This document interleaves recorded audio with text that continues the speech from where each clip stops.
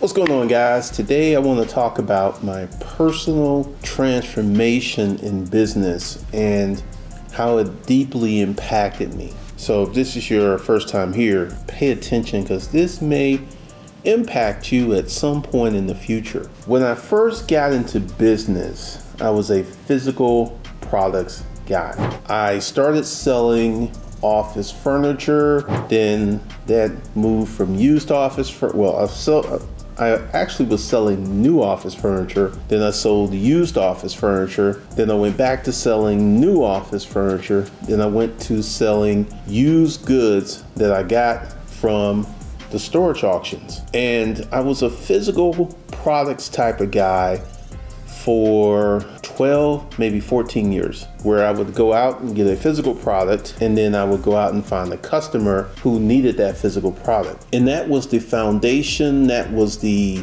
impetus, that was the hub of me being in business, selling physical products. And let me go ahead and tell you something that literally changed my life. After my partner rest in peace, Francine, got cancer and died. It was really hard for me to be in the storage auction business. It was just just terrible. It was just a really really bad time. And I started looking for something else to do because, you know, I was relatively young and I needed something to do. And I started to investigate things. And one of the things I did was I created not one, not two, but three blogs. PassionateFriday.com, I'll be your business credit mentor. Sound familiar?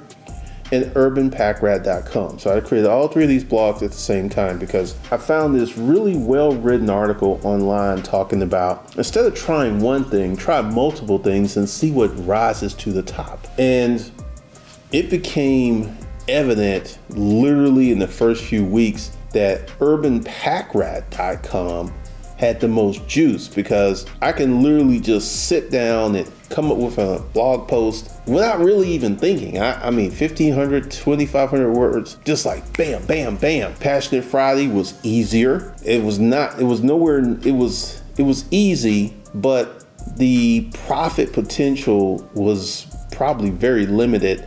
And at the time, I really wasn't aware of what was going on in terms of literature, that type of literature. There was an author by the name of Zane who was killing it with literature, but she had books, she had a club, she had a posse, so to speak. And then Business Credit Mentor, that was a struggle. That was really, really a struggle. So what happened was I just literally gave up on Business Credit Mentor. Then I stopped writing on Passionate Friday and then all my energy and time and effort went into Urban Pack Rat because it was so easy. It was so easy to think of a story. It was so easy to write a blog post. And then I was also working on my second book. My first book, which was supposed to be a relationship book, was about half done when I looked at the uh, landscape of people who were writing relationship books. And I was a single man, not in a relationship. And that was the thing that kept coming because it was Steve Harvey who was actually married, and then there was these other guys who were both single. So there was a lot of political pushback as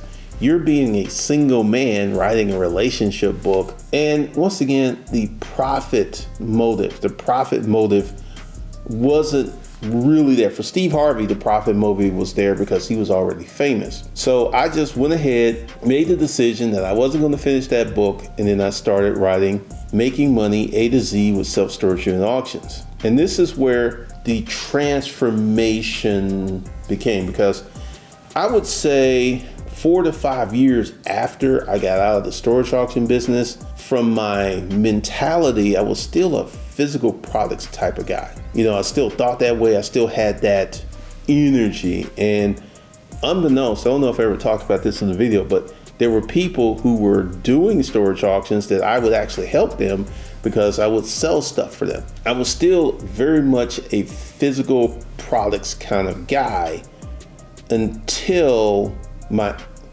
till October 2011. Let me explain what happened.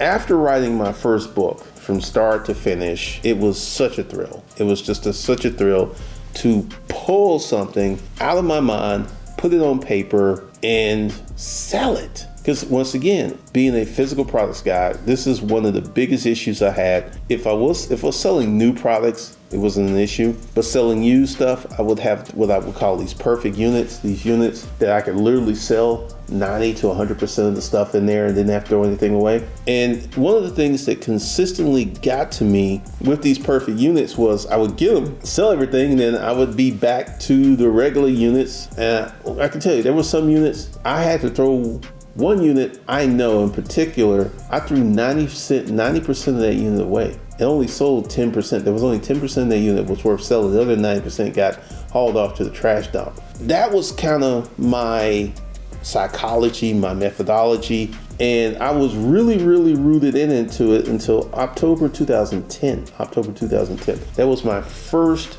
full year of being a writer, selling a book, doing YouTube videos, and I made $62,000, which I know doesn't sound like a lot of money, but for me, it was a fortune because this $62,000 I pulled out of my head.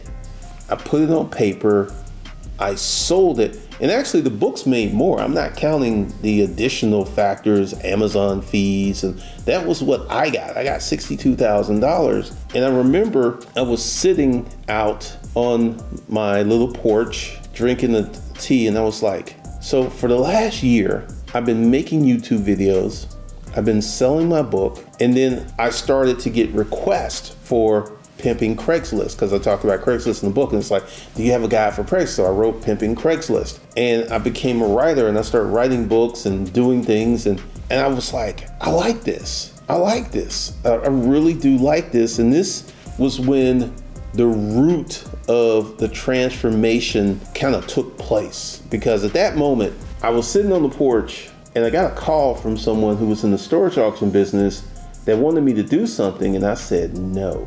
That was the beginning of the transformation. That was the beginning of the business transformation because this is what's funny. All of my business knowledge still applied to what I was doing. I just had to use it a little differently, but it, the the sales, the marketing, the presentation, all that stuff, all that stuff was still good.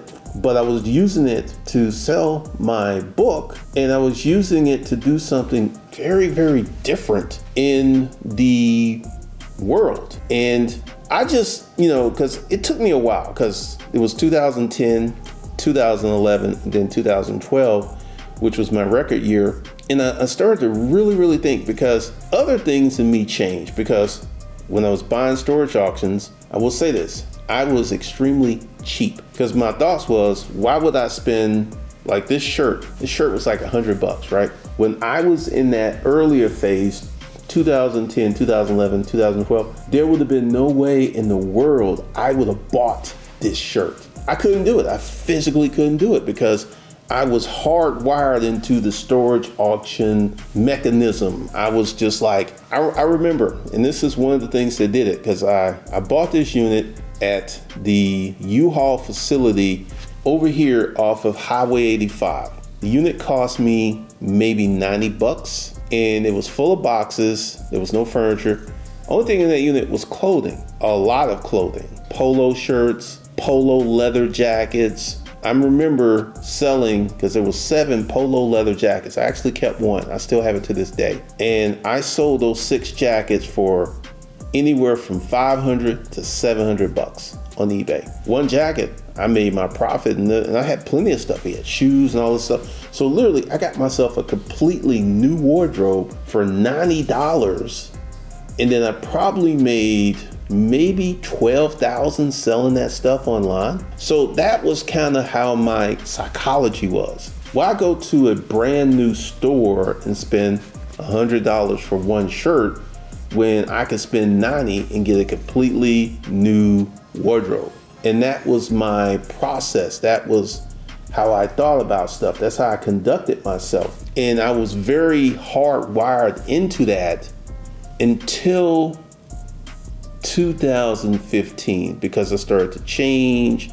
I started to, because I, I, went to the store and I bought some stuff and I was like, did I really do that? I was shocked at myself. I was like surprised because that was such a hard thing for me to part with money buying new stuff in the store other than food because literally when I was in the storage auction business, I changed out my living room and my dining room and my bedroom several times. I would just take the best stuff home and then sell what I had. During this personal transformation, I didn't know it. I was unaware of it, but I became completely digital and I didn't even know it because um, 2014 was when I created Hustlers Kung Fu and I became extremely digital, very digital in everything I did. And from 2009 October until this day, the vast, all of the money that I've made, and I would say livable money, the real money, has been from digital products. And it's just something that happened because I got into the digital world. I got into this whole system and it was very surprising how I transformed and oh, let's talk about the cars. When I was in the storage auction business, I had some nice cars, but they were older, they were paid for. And then 2017, I'm driving by the Porsche dealership and I see this beautiful blue Porsche 911. It was so such an eye attractive car, so eye catching. I literally pulled over into the parking lot. The Porsche dealership was closed, and I just walked around that car and mentally I said, I'm getting one of these one day. Boom. That was the big, I, I never thought I would pay hundreds of thousands of dollars for a car. Never assumed, never urged it. And my latest car, the new Porsche, the 2022 Porsche Turbo, was 200 and $70,000. And I did it without even blinking. I did it without even pausing. This is one of the things that literally happens to you when you get successful. I would say it happens to some of us. There are some people who can get a billion dollars and they're going to still live in the same house, they're going to still drive the same car. But for me, this created a vast transformation in how I looked at the world, how I bought stuff, how I used stuff, how I did things. It created an incredible transformation and it created a very different me. And, you know, once again, if you've been around here, you know I've been resetting everything, I've been doing stuff. I feel, no, I don't feel, I know I'm back to the digital dude. I'm back to creating digital stuff. I'm back to working on stuff in a digital manner. And it's very different than selling physical products. Physical products, I remember on eBay, unfortunately, this didn't happen a lot, but when someone wanted to return something, me and my partner would lose our minds because we didn't want to get the money back, right? And what, what happened with me getting out of physical products, people don't return digital products. Um, it got to be a very wild special moment for me because I was just looking at this this big huge transformation. How I went from being cheap just go there's no other word for it. I was extremely cheap. And this is one of the reasons why I'm making these videos about pathologically cheap I knew what being pathologically cheap because I was at one point in my life pathologically cheap. And it was just, you know, things changed, my values changed. I started to do different things, I started to observe different things. And because of business, I was able to weather this change. This change did not cause me any harm, this change did not bring me any pain. I was able to weather the change and adjust to the lifestyle and adjust to living this different way. But this is one of the things that business has done for me. Business has created a very different dynamic, a very different choice, way of choice, because I look at things very differently. I look at a lot of stuff very differently. I look at how I integrate into the world, how I present to the world, and things. Everything is very, very different now because, um, once again, for you guys who don't know, some new books are coming. There's there's all kinds of stuff that's coming, and I'm excited about the rest of the year because for some reason I got off track. I got way off track, and I created a lot of stuff. I created a lot of outcomes. I drew a crowd of people that I want nothing to do with. And they're like literally hanging on by their fingernails because every now and then I'll get this weird message from one of those people. And I'll, I'll tell you, I'm not going to tell you the message because I deleted it. This message was like, man, I love this, I love this, I love this. And when you do this, I went and subscribed to this. And I was like, it worked because this person, he went, he left my BS and went to some other BS. And I was just sitting there like, hmm, this is very interesting because when you go ahead and you observe the human creature in its native habitat doing what it does best, it's a very interesting and curious thing to watch. Because once again, I don't mean any, anybody any harm, but once again, to echo Nick Saban, to echo Kirby Smart, to get to that championship level, I need some four star and five star prospects. And these people were not four and five. They were they weren't even D1. They weren't even one star. They were just, I don't even know what to say. I don't even know what to say. But going through this whole process, going through this whole transformation, just opened my mind up to let me know that this is the path that I should stick to. This is the path that I should stay on. And this is the thing that I need to put together long term to see my ultimate destiny. Because with this transformation, with this major change, it allowed me so much freedom, so much opportunity, so many wonderful experiences that I could never ever go back to what I used to do.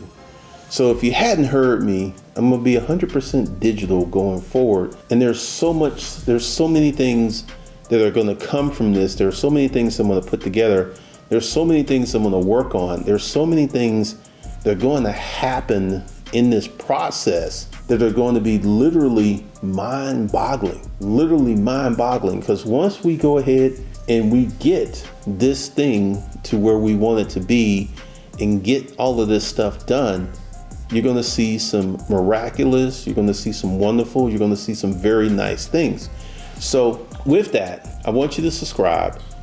I want you to hit the bell notification thing for all. I want you to watch these videos two or three times so you can eat it all. And more importantly, I want you to get the money management system, which will teach you how to optimize your money, teach you how to get business credit. Right now, there's one, two, three, four, five, six dudes on YouTube who are running ads selling business credit, and they've been running these ads for quite a while. So you go ahead and sign up for this course, which is 100% free to you. You're going to learn how to do this stuff that they are charging for. So that's what I got for you. If it's uh, the the description, it's going to be in the description box. And if I don't forget, because sometimes I forget, it'll be in the first comment. So you can go ahead and get this information and start building up your personal finances in the best way possible. My name is Glendon Cameron. I'm here today. I'll probably be here tomorrow. Probably be here 10 years from now. And I will see you guys in the next video.